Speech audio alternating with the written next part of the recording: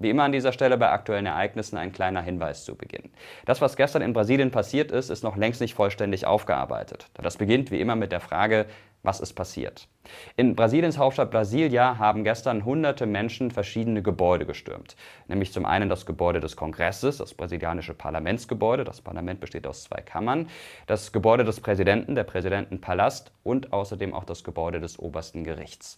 Die Menschen haben ein Chaos hinterlassen. Sie haben Dokumente aus Schränken gerissen, haben Büros verwüstet und vieles von dem, was sie da gemacht haben, erinnert an das, was am 6. Januar 2021 in den USA passiert ist. Mit einem wesentlichen Unterschied. In den USA war zu diesem Zeitpunkt voller Betrieb.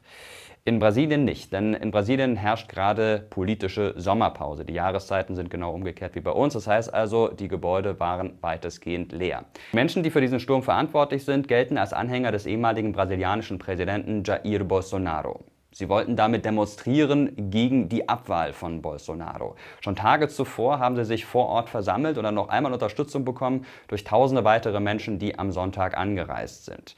Von den Sicherheitskräften wurden sie teilweise sogar eskortiert. Einige Sicherheitskräfte haben Selfies gemacht mit den Menschen, haben gelacht, als sie auf die Gebäude zugestürmt sind. Unter anderem deshalb soll es so schnell gegangen sein. Erst viele Stunden später konnte die Situation vor Ort bereinigt werden. Direkt damit verbunden ist natürlich die Frage, was steckt dahinter? Dahinter steckt etwas, was ich gerade eben schon angedeutet habe. Die Menschen, die die Gebäude gestürmt haben, gelten als Anhänger von Jair Bolsonaro. Bolsonaro war in den vergangenen vier Jahren Präsident von Brasilien und ist Ende Oktober in einer Stichwahl Lula da Silva unterlegen.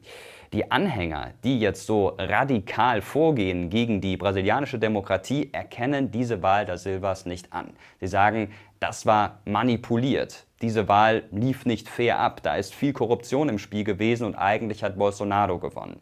Es gibt tatsächlich keine Anhaltspunkte für diese Behauptung. Und selbst Bolsonaro hat zwar seinem Nachfolger nicht gratuliert, aber hat seine Niederlage zumindest indirekt eingeräumt. Er selbst ist schon seit einiger Zeit in Florida. Aber es gibt eben einige Menschen in Brasilien, die das nicht wahrhaben wollen.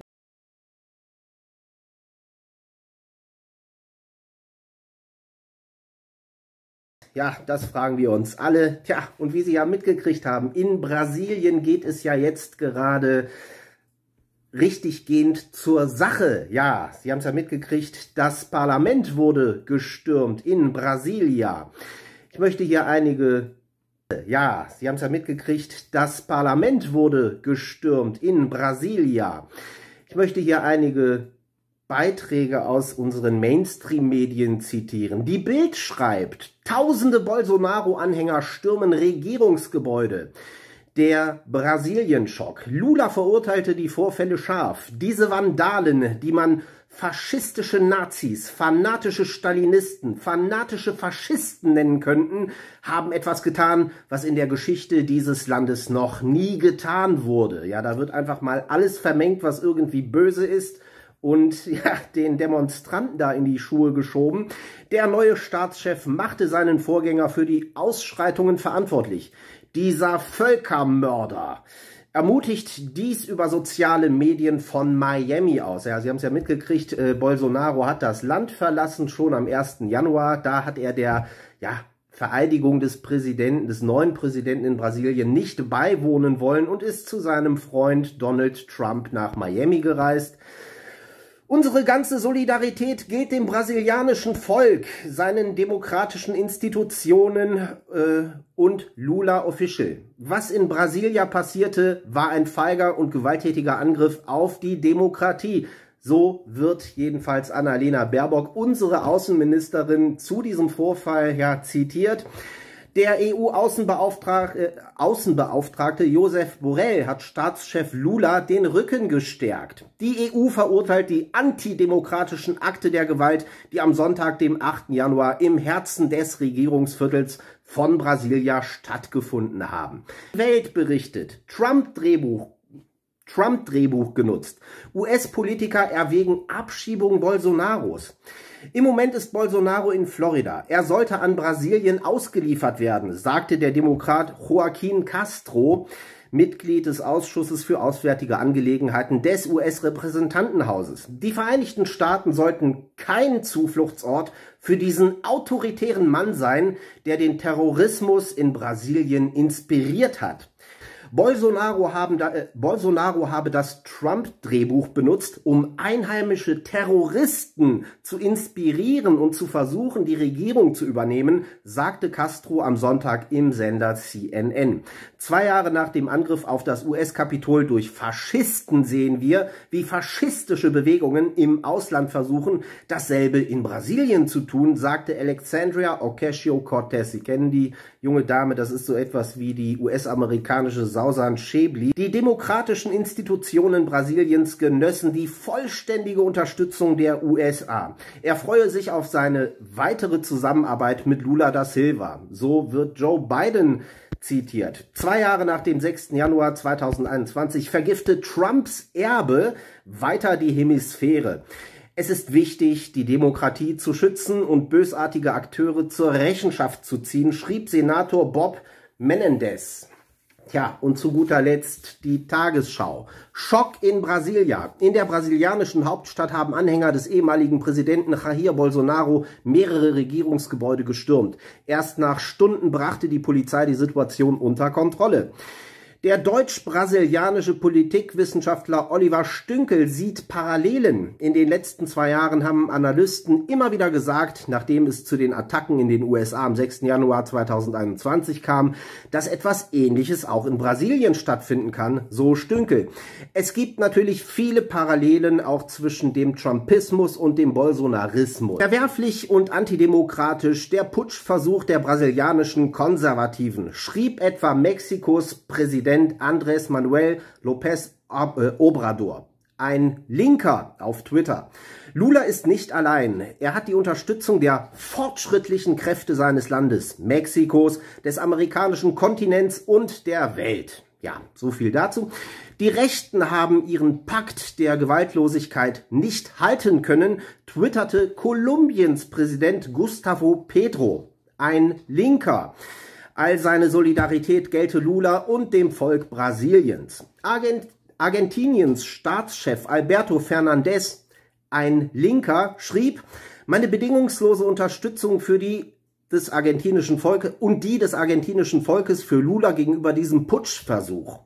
Chiles Präsident Gabriel Boric ein Linker sprach von einem feigen und gemeinen Angriff auf die Demokratie. Auch aus anderen lateinamerikanischen Ländern wie Bolivien, Kuba und Uruguay, ich glaube, die sind allesamt links regiert, sowie von verschiedenen Organisationen des Kontinents kamen empörte Reaktionen. Was die Presse hier in Deutschland irgendwie tunlichst versucht zu verheimlichen, diese Ereignisse kamen keinesfalls überraschend, denn ja, wir hatten es in den letzten, ähm, im letzten Jahr haben wir es ja immer mal wieder erwähnt, seit der Wahl Lula da Silvas in Brasilien äh, kam es quasi täglich zu massivsten Demonstrationen. Also seit der Wahl dieses äh, ja wegen Korruption verurteilten kriminellen Kommunisten ähm, ja, sind die Leute in Brasilien auf die Straße gegangen, um dagegen zu demonstrieren, weil die Leute da nämlich befürchten, dass es bei der letzten Wahl zu gewissen Unregelmäßigkeiten gekommen sein könnte. Also, ja, und was die Presse, also wie gesagt, die Presse hat eben über diese Massenproteste, die jetzt tatsächlich wochenlang stattgefunden haben, kaum beziehungsweise gar nicht berichtet. Ja, und jetzt auf einmal ist er da, der Schock. Ne? Ja, wie konnte das denn passieren? Das kommt aus dem Nichts. Ja, und die Leute, die, wie gesagt, sich die Tagesschau angucken, also lediglich die Tagesschau angucken und sich auf die Mainstream-Medien verlassen, ja, für die ist das selbstverständlich, ja, wie soll ich sagen, tatsächlich überraschend. Für die ist das tatsächlich ein Schock. Ja, die haben das ja gar nicht kommen sehen. Für die kam das so plopp von heute auf morgen, zack, war sie da. Ja, und was die Presse hier in Deutschland dann außerdem noch verheimlicht, das ist ein Banner, ein gigantisch großes Banner, das die Demonstranten, naja, ausgebreitet haben, und zwar auf dem Parlament. Und zwar stand da drauf, wir wollen den Quellcode. Also gemeint ist der Quellcode der Wahlmaschinen, von denen die Demonstranten ausgehen, dass diese eventuell manipuliert sein könnten.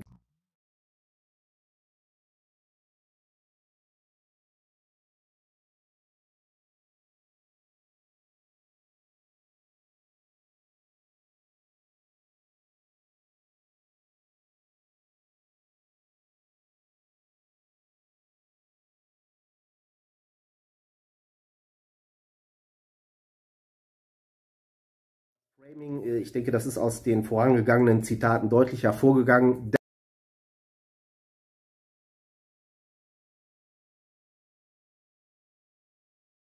Brasilien wählt am 30. Oktober einen neuen Präsidenten. Amtsinhaber Bolsonaro muss in der Stichwahl gegen den linken Ex-Präsidenten Luiz Inácio Lula da Silva, kurz Lula, antreten. Aber unter Lulas Regierung florierte auch die Korruption in Brasilien. Gelder aus den Staatskassen flossen nicht nur in die Sozialprogramme, sondern auch in die Taschen von Politikerinnen. Seine Arbeiterpartei schmierte Abgeordnete anderer Parteien, damit sie die Politik der PT mittrugen. Obwohl Lula von Angeklagten als Mitwisser bezeichnet wurde, wurde er selbst nicht angeklagt und auch politisch schadete ihm der Skandal wenig. Nach zwei Amtszeiten der Obergrenze für das Präsidentenamt trat Lula ab, mit den höchsten Zustimmungswerten, die je ein scheidender Präsident hatte, und übergab an seine Parteikollegin Dilma Rousseff.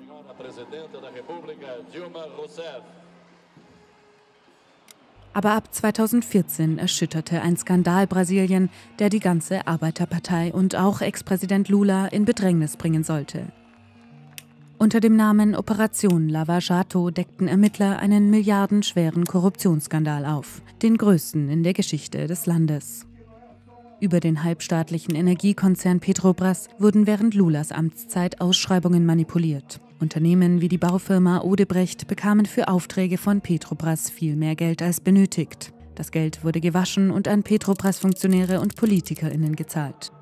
Fast alle Parteien waren involviert.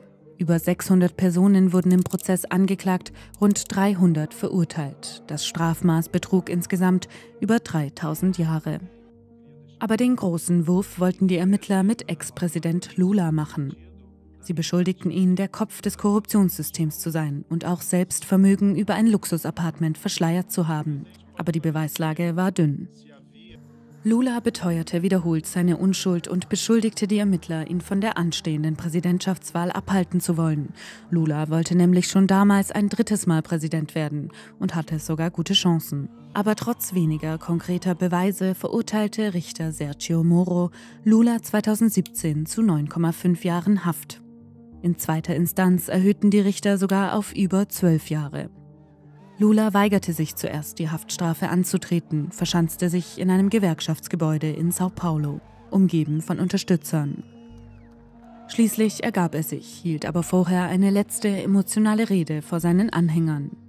Die PT stand weiter hinter Lula und nominierte ihn, obwohl er im Gefängnis saß, zum Präsidentschaftskandidaten für die Wahl 2018.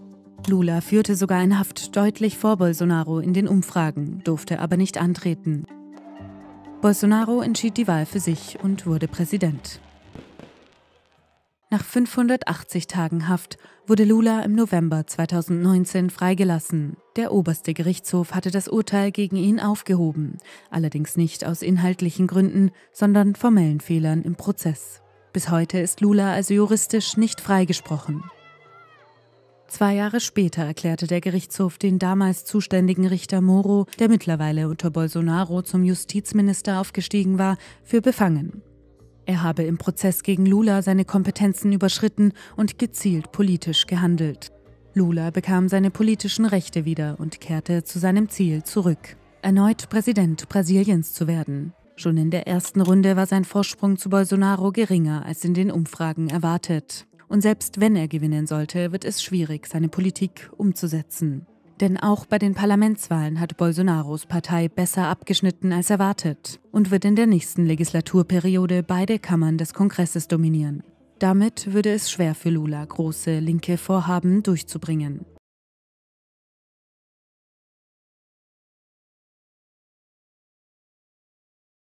Eine groß angelegte Umfrage hat ergeben, dass die meisten Deutschen im September auch gerne online wählen würden. Unseren Kaspersky Lab-Experten Marco Preuß wundert das nicht. Ich kann mir vorstellen, dass für viele wahrscheinlich praktischer und einfacher wäre, von zu Hause zu wählen, anstatt es das nächste Wahllokal zu suchen, dort in komische Räume sich reinzuzwängen und notfalls noch an der Schlange zu stehen. Sogar 59 Prozent würden für eine Online-Wahl gerne ihr eigenes Gerät zu Hause benutzen. Online-Wahlen haben natürlich einige Vorteile, wie zum Beispiel eine mögliche höhere Wahlbeteiligung, kommen aber auf der anderen Seite auch mit einem sehr hohen Risiko. Die Mehrheit der Deutschen fürchtet sich laut Umfrage tatsächlich auch vor einer Manipulation, zum Beispiel durch Hacker bei einer Online-Wahl. Sind solche Horrorszenarien wie Hackerangriffe auf die Wahl überhaupt wirklich plausibel? Natürlich gibt es bei Online-Wahlen auch viele Risiken. Einerseits könnten externe Akteure versuchen, Wahlmanipulationen durchzuführen. Auf der anderen Seite habe ich natürlich aber auch als Wähler das Problem.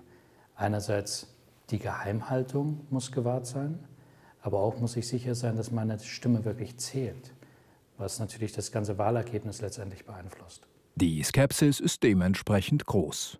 Laut Umfrage glauben nur 29 Prozent der Bevölkerung, dass ihre Daten überhaupt sicher sind. Und muss man festhalten, dass kein System sicher ist und so bietet zum Beispiel auch die Briefwahl Angriffsvektoren. Aber ist es ein Grund dafür, zu einer potenziell noch unsicheren Wahlmethode zu wechseln, bei denen realistische Angriffe wesentlich besser skalieren als bei analogen Wahlen? Und damit wären wir schon bei den Nachteilen, die Online-Wahlen hätten. Beginnen wir mit einem eigentlich banalen Grund, der viele von der Wahl ausschließt. Nicht jeder in unserem Land hat ein Smartphone, einen Laptop oder Zugang zum Internet. Trotz der höheren physischen Barrierefreiheit würde man bei reinen Online-Wahlen viele ausschließen. Deshalb wäre nach wie vor grundsätzlich die Option zur Analogwahl wichtig. Gerade jetzt in Pandemiezeiten hat man gesehen, dass Online-Unterricht, auch wenn einige didaktische Konzepte gar nicht so schlecht waren, unter anderem an der fehlenden Technik in den Haushalten scheiterte. Vom ultraschnellen Internet, das wir hier alle haben, mal ganz abgesehen. Also, wählen aus dem Homeoffice? Hm, nur bedingt möglich. Und überhaupt, Kannst du mir garantieren, dass auf deinen elektronischen Geräten zu Hause, also Smartphones, Laptops und so weiter, keine Malware läuft? Hacker könnten unbemerkt die Kontrolle über dein Smartphone übernehmen und so deine Wahl zu ihrer Wahl machen. Vielleicht läuft auch nur ein Trojaner darauf, der in Kombination mit anderen Daten deine Wahlentscheidung aufzeichnet. Geheime Wahl, AD. Wie bereits erwähnt, skalieren Cyberangriffe einfach extrem gut. Während man bei der analogen Wahl sehr viele Menschen bestechen, Wahlurnen manipulieren müsste und und und, reicht theoretisch eine Malware aus, um Millionen Geräte für seinen Favoriten votieren zu lassen. Auch die zentralen Sammelstellen, also die Server, stellen einen Single Point of Failure dar. Diese können nämlich ebenfalls gehackt werden. Man könnte jetzt natürlich argumentieren, dass es bei der Bekanntgabe des Endergebnisses bei der analogen Wahl nicht anders ist. Auch hier gibt es eine zentrale Instanz, die die einzelnen Ergebnisse zusammenrechnet und bekannt gibt. Ja schon, aber Papier ist geduldig. Man könnte bei Ungereimtheiten oder sonstigen Auffälligkeiten einfach bestimmte Wahlkreise neu auszählen lassen, da man ja einen physischen Nachweis, nämlich den Wahlzettel hat. Das ist bei Online-Wahlen nicht unbedingt gegeben. Um sich vor solchen Fälschungen zu schützen und digitale Wahlbeobachter zu etablieren, könnte man Online-Wahlen auf einer Blockchain aufbauen. Doch diese Wahlautomaten haben diverse Sicherheitsprobleme, die sich in weiten Teilen auf Online-Wahlen übertragen lassen. Kann man der Hardware trauen? Kann man der Software trauen, auch wenn sie Open Source ist? Wer sagt denn, dass auf den Wahlautomaten keine gefälschte Version läuft?